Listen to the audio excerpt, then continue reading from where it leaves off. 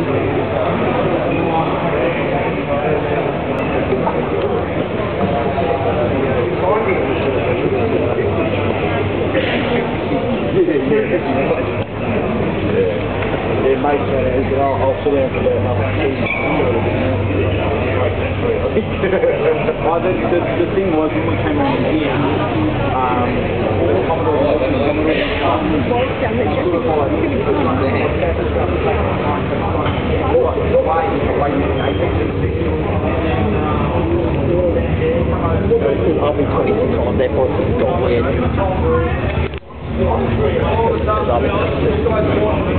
I'll be